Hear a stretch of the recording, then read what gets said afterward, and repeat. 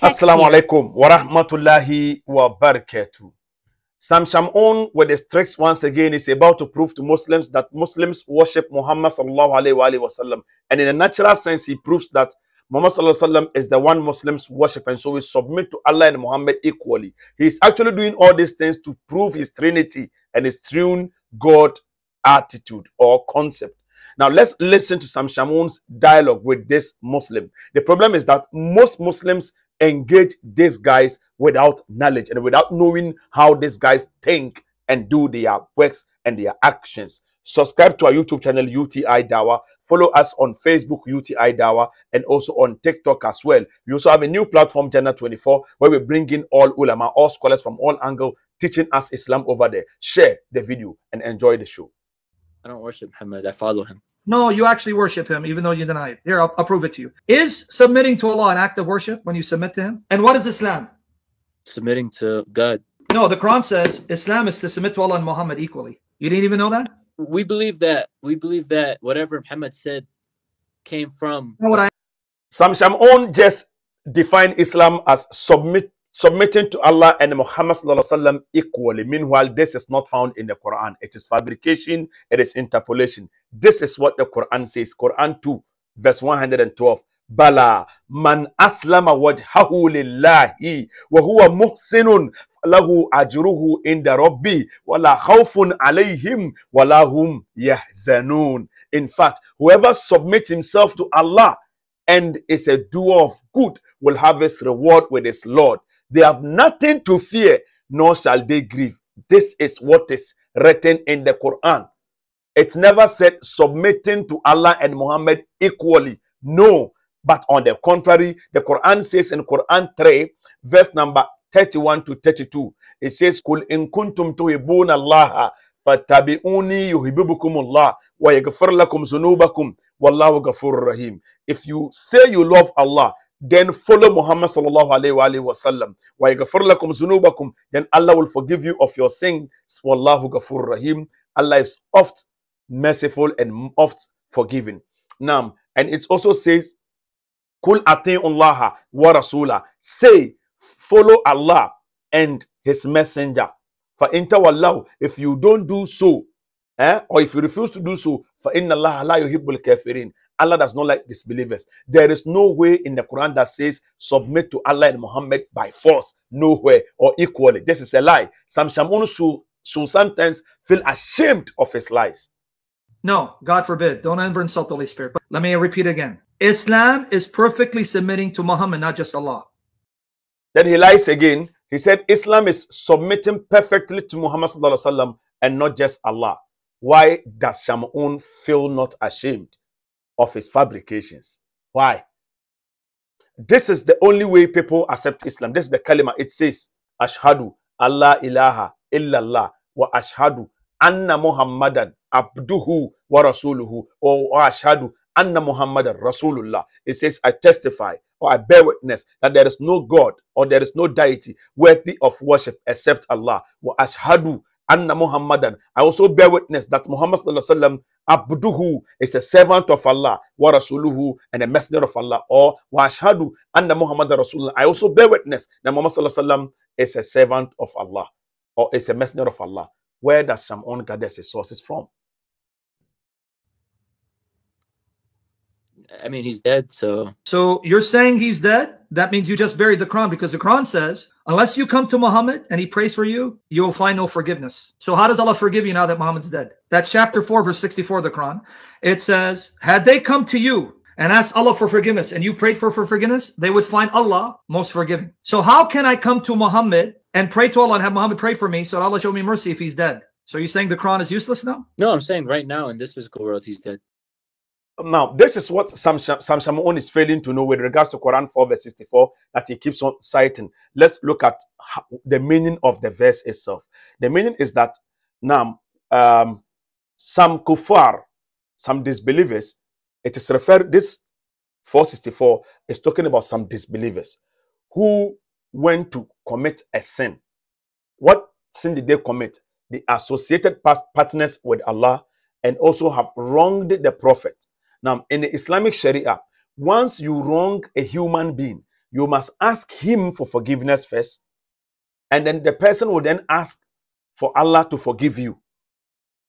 Now, so they wronged the prophet first, and so they went to the prophet. They must go to the prophet and ask him to forgive them, and then he will ask Allah to forgive them.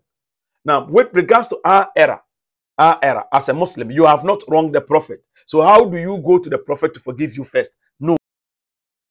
It says, Afala yatubuna ila Allah, Quran 5, verse 74. Wayastakfirunahu. Will they not repent to Allah and ask for forgiveness? Wallahu ghafur rahim. Allah is forgiving and merciful. So you see, when you, no you notice this verse, it is you yourself who must first repent first. And once you repent, then the Messenger of Allah will also if he's alive with us, will also intercede on your behalf by asking for forgiveness for you, just as other messengers have already done before, as he says in Quran 4, verse 64. وَمَا أَرْسَلْنَا مِن رَسُولٍ إِلَّا لِيُطَاعَ بِإِذْنِ اللَّهِ We did not send any messenger except to be obeyed by Allah's leave.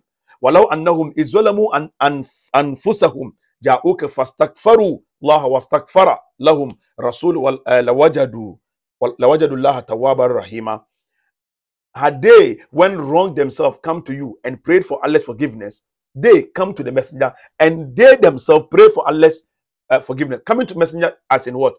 As in accepting his teachings, obeying his word, using his uh, submitting to Islam, and then following Quran and Sunnah. That is going to the messenger, not going to him vis-a-vis. Some some only to learn. he said, "You buried the Quran, the messenger is dead. Learn, learn, learn."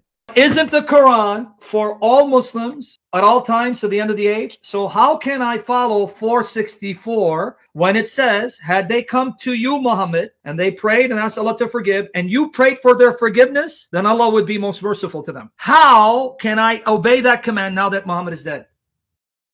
So you see, he is just full of arrogance. He doesn't even know, even though the guy he's is having a dialogue with doesn't have uh, in-depth knowledge of Islam. You understand? So this is the whole the whole verse. Uh, which is talking about which says Omar Salami Rasulin illa liyuta'a." We sent no messenger but to be obeyed. So every messenger Allah subhanahu wa ta'ala sent is that is we are supposed to obey the messenger, meaning obeying the prophet was ordained for those for those to whom Allah sends the prophet. And Allah's statement, Allah by the power of Allah or by the leave of Allah, means no one shall obey except by, by my leave. According to Mujahid, this ayah indicates that the prophets are only obeyed by whomever Allah directs to obedience. Now there he says, وَلَقَدْ صَدَقَكُمُ اللَّهُ وَعَدَهُ is تَحَسُّونَهُمْ بِإِذْنِ And uh, Allah indeed fulfilled his promise to you when you were killing them, your enemy, with his permission, meaning by his command, decree, will, and decree, will, and because he granted you superiority over them. The Allah statement, وَأَنَّهُمْ إِذْ ظَلَمُوا أَنفُسَهُمْ If they hypocrite, it is not referring to Muslims, the kuffar, once again. Sam Shamoun, it is not referring to Muslims, but this ayah is referring to the kuffar. If the disbelievers, when they had been unjust to themselves, direct the sinners and evildoers, when they come, commit error and mistakes, to come to the messenger. Today there is no messenger, but guess what? Al ulama'u warasatul anbiya. The, the, the, the scholars are the inheritors of the prophet. So if a disbeliever like Shamoun wants to repent today, he goes to the scholars, then he accepts Islam from them, then Allah will forgive him. This is it. This is it. Sam Shamoun doesn't know. And the arrogance within him. You see, small, small thing. The Christians are fond of lies and fabrications. Isn't the Quran for all Muslims at all times to the end of the age? So how can I follow 464 when it says, had they come to you, Muhammad, and they prayed and asked Allah to forgive, and you prayed for their forgiveness, then Allah would be most merciful to them. How can I obey that command now that Muhammad is dead? How do you go to Muhammad to pray for you? You submit to Islam. Once you've submitted to Islam, you follow the sunnah of, of the Prophet. Once you follow the sunnah of the Prophet, you've gone to the Prophet. You've submitted to Islam. Then when you sin, because you have the, you've said the kalima to shahada and accepted Muhammad to be messenger of Allah and accepted him to be servant of Allah. When you sin, you do istighfar. Once you do istighfar, Allah forgives you. Period. This is the meaning. Sam Shamoun, why? I mean, didn't you say that people can pray for you when they're dead because they're still alive in the spiritual? That's what I wanted to hear. So that's why your Muslims say you can still obey that command by going to the grave of your prophet and greeting your prophet and asking him to forgive you. So you're okay going to the grave of Muhammad and talking to a dead man and asking. No, they say that's shirk. They say that's shirk. No, it isn't. I have the statements from Ali ibn Abu Talib as well as from Utbi, cited by Ibn Kathir, saying that the Muslims did it shortly after Muhammad died. Where are you getting shirk from? You can't ask for forgiveness from anyone except for God. Friend, chapter 4, verse 64 says you got to go to Muhammad and he's got to ask for forgiveness for you when you ask Allah to forgive, and that's when Allah will show you mercy.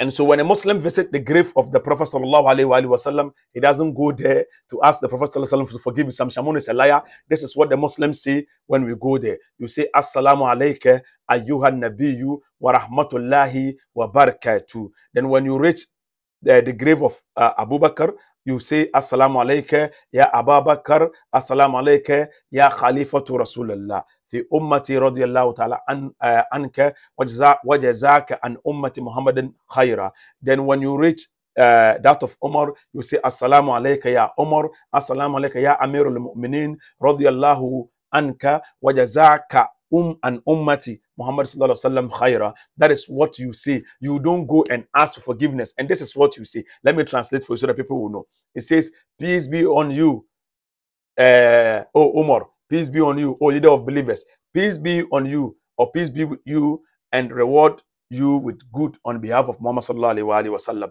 They don't say anything like they come to ask forgiveness for Allah. From no, no, no, no. Sam Shamoun should stop disgracing himself. Why do you go to Muhammad? To kiss the black stone together or to dance Cheikhani? Why do you go to Muhammad there? This time Shamoun is grown with gray hair but has no sense. After all, he's been accused recently of beating his wife, uh, sleeping around with a lot of women, and so it is not uh, surprising to see him insulting the prophet here and there. We've seen the ends of uh, people of people like Abi Lahab and the rest. So this is not new. Sam Shamoun can keep on insulting. You are having a decent discussion with a brother, and you have already started using abusive words. You go there to kiss the black stone together, or you yes, we kiss the black stone. It doesn't make us worshippers of the black black stone. Jacob had to had to worship a stone. In Genesis chapter number uh, 28, you should go and be reading. You, you understand that is not our issue. It is your problem. Now let's take this one after the, uh, the other. Since he keep on saying these things. Walau annahum izolamu anfusahum. If they, the hypocrite, when had been unjust to themselves, now direct this, that is the verse direct the sinners and the evildoers. That when they commit errors and mistakes, it is not referring to Muslims. Sam Shamoun over there is trying to think it is referring to Muslims to come to the messenger because a kafir, a kafir cannot embrace Islam until it comes to the believer for the believer to give him the shahada so that they ask Allah for forgiveness in His presence and ask to supplic- supplicate to Allah to forgive them. In other words, he goes to the messenger, I have wronged. Today I want to embrace Islam. Then the messenger will give him the kalima to shahada. So today, this is how it is applicable. If a kafir wants to embrace Islam, he must go to the uh, Muslim, and the Muslim will give him the kalima, and then by that Allah will forgive him of his sins. Period. Sam Shamoun doesn't know this. If they do this, Allah will forgive them and award them uh, award them his mercy and pardon. This is why Allah subhanahu wa ta'ala says, Allah says, La wajadu rahima. They would have found Allah forgiving, one who forgives and accepts repentance, most merciful. This is it. It doesn't say what Sam, Sam Shamoun keeps on saying. This guy is a serious liar, a disease, a disease. But one day, the days of recompense shall come unto him, inshallah.